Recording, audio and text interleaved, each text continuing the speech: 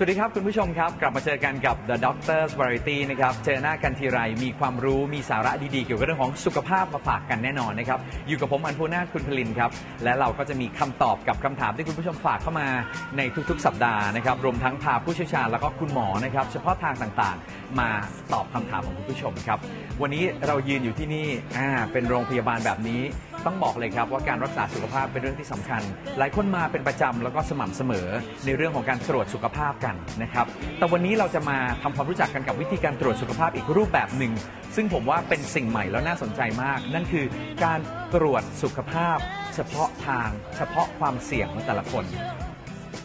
นี่แหละครับที่ผมบอกว่าเป็นสิ่งใหม่ แล้วก็ผมว่าฟังดูมีเหตุมีผลนะฮะเนื่องจากว่าแต่ละคนทำงานกันไปเนี่ยเราอยู่ในสิ่งแวดล้อมที่แตกต่างกัน บางคนทำงานในโรงงานครับ บางคนทำงานอยู่ริมถนนเลย บางคนทำงานในที่ร้อนจัดอะเพราะฉะนั้น สิ่งแวดล้อมที่แตกต่างกันย่อมส่งผลต่อสุขภาพของแต่ละคนแตกต่างกันไป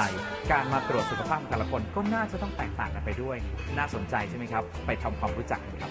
พูดถึงการตรวจสุขภาพตามความเสี่ยง หลายท่านอาจนึกถึงความเสี่ยงจากการที่เรามีประวัติครอบครัว เช่น คุณพ่อหรือคุณแม่ที่เป็นโรคเรื้อรังต่างๆ ที่อาจส่งผลมาถึงเรา ความเสี่ยงจากการใช้ชีวิต เช่นการดื่มสุรา การสูบบุหรี่ การทานอาหารมัน ขณะที่การตรวจสุขภาพตามความเสี่ยงจากการทำงาน จะเป็นความเสี่ยงที่เกิดขึ้นจากการสัมผัสสิ่งคุกคามในรูปแบบต่างๆ ตามลักษณะงานที่อาจส่งผลกระทบต่อสุขภาพได้ ดังนั้นการตรวจสุขภาพตามความเสี่ยง จึงถือเป็นการเฝ้าระวังความผิดปกติของสุขภาพ ที่อาจเกี่ยวเนื่องจากการทำงานได้แต่เนิ่นๆนั่นเอง